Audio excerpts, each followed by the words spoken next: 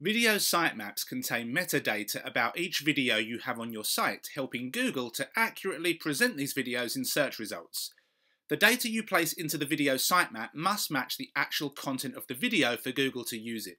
Video sitemap metadata includes things like the length of the video, a title, and a short description of the video content. Now, if you use a video sitemap, your videos can appear higher in Google and also appear in Google Video, a dedicated video section of the main Google search engine.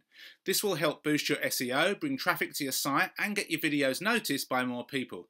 Now, there are plugins that are for sale that can do this, but they all fail when it comes to YouTube videos, and that's where the traffic is. So rather than waste time, energy, and money on these plugins, I'm going to show you how to do this all for free.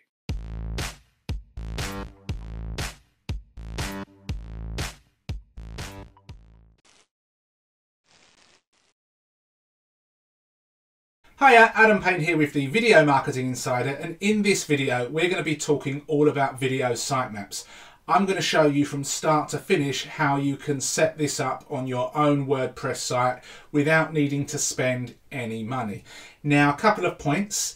It's a little bit of a tricky thing to articulate because different people will have different amounts of knowledge. For some people it may be completely alien, for others you may have certain parts of the puzzle but not them all. So bear with me if the stuff that I explain seems rudimentary but I think it's important to cover all the bases.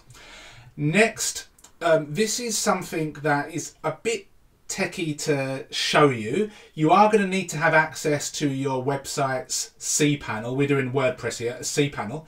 So make sure that you have access to your cPanel and just follow along, pause, rewind and all that stuff if you get confused. So let's start from the beginning. This is one of my websites, beerswithadam.com, and I have a lot of posts on this particular website reviewing digital products. Now most, I would say almost all of my posts will have a YouTube video embedded. And it's really important whenever you publish new content on your website that that content gets indexed as soon as possible and therefore can be found by Google if somebody types in a related phrase. Now the first thing you'll need to do if you haven't done so already is you will need to create a regular sitemap. And the way that I do it on my site is that I install a free plugin. It's very well known. It's called Yoast SEO. Once you've installed and activated this plugin, you can come down to the SEO section here and then you hit General and then up here you hit Features. Scroll down, make sure XML sitemaps is switched to on. You can hit this little um, question mark and then you can click on this thing here, see the XML sitemap. So we click on this and it will bring it up, it will bring up all different kinds of sitemaps. Now, the most important one for you would be this one. It would, it would basically have your domain forward slash and then it would say post hyphen sitemap.xml. What you would need to do is basically copy this little bit here, come on over to the Google Search Console. Now, make sure that you have verified that you actually own the domain in question. There's a video that I've got that shows you how to do that. I'll put that in the top right hand corner of the little eye. Then you'll come down to sitemaps you will paste that thing here, post hyphen sitemap. You can see I've done this down here already, did this several years ago. And then you will hit submit and you'll be basically done. Now, if you want to do it for your pages and categories as well, that's entirely up to you, but you want to do it for posts. Then what happens, we come back here, every time that I publish a new piece of content, so let's choose this random piece of content as an example, you'll get your URL you'll copy the URL, you'll come back over to Google Search Console, and you'll just basically paste it in here and press enter. And after a couple of seconds, there'll be a little button or a link which will allow you to request indexing. You do that, and then Google now has put your URL in a queue and it will put it through the indexing process. But you can also do the same things for videos. Now, in order for you to do this for videos, you're going to need to create a video sitemap. Uh, video sitemap. This is where plugins in the past have come in handy because you can install a plugin and it will do it automatically. And yes, plugins that I've mentioned, um, Yoast's paid video sitemap and other ones, they do generate the sitemap, but unfortunately, when you actually go to submit posts with videos on, they throw up errors if your videos are on YouTube. So I hope we're not moving too fast. So what you will need to do is you will need to upload a sitemap file. Now below this video in the description I am going to give you a link and that link is going to be a, basically a video sitemap. Let me see if I can open it up and show you. Now it looks like a lot of gobbledygook code but don't worry. So you can see here um, this part here is generic to everybody and in here these are just um, things that you're going to need to edit later on. But what I stress that you don't do is don't change the file name okay? Just leave it at video sitemap. Don't change anything. Just download the file that I give you. Um, it's below this in the description. We'll close this off.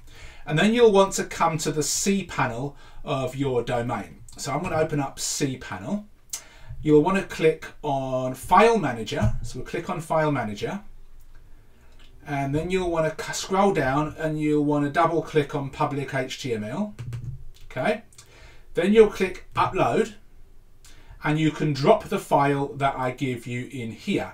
Now it will be called video sitemap. So don't rename it to anything else. Just leave it as it is. That's important, okay? Then um, once it's uploaded, that's uploaded. And you've only got to do that once, okay? So let's presume that you've done that. Once you've done that, what you can then do is you can come back in here and you can just put, you know, video sitemap.xml and hit submit. But, and there's a big but, you are going to need to do a few extra things each time you add a new video to your site. So again, I know this might seem a little bit complicated for people, but as you can see on this particular um, post, I have a YouTube video. So I want to make sure that my video is automatically submitted to my sitemap. And I want this to happen every single time I publish a post. So this is what we'll need to do. Let me just close a few tabs. Uh, let me come back to the start so it doesn't look confusing. So you're going to click on File Manager, okay? Then you're going to come down again, you're going to click on Public HTML, then you'll scroll down and you will see Video Sitemap here. So what you'll do is you'll right click here and edit. This box will appear and you'll hit edit again. And again, it's going to show you a bunch of code, might look confusing. Uh, but what you can see here, you have these first two lines, and then you have this here, okay? This little section here. So what I'm going to do is I'm going to copy this, and I'm going to open up a new file, uh, new file, and I'm going to paste this here. Now, I don't know if this is easy for you to see or not, but this has all of the information about one of my posts and the video that is embedded on the post. So this is an old one. This one has already been added to my sitemap. You can see it's in here. So let's say for argument's sake um, that this is a brand new post, okay? So what I'll need to do first is I will need to grab this string of my post URL and then I'm going to come back here and I'm going to switch it out for this one, okay? So rather than saying I am checklist gold edition review, it says video CEO review because this is the name of the post, okay? So let me just, uh, that should be correct. Okay, we only want one forward slash. Then here is my YouTube video here. So I need to make sure that I get this YouTube video's URL. So I've already got this ready. So over here at YouTube, this is the video in question. I just need to grab that code, all of the gobbledygook after the equals sign.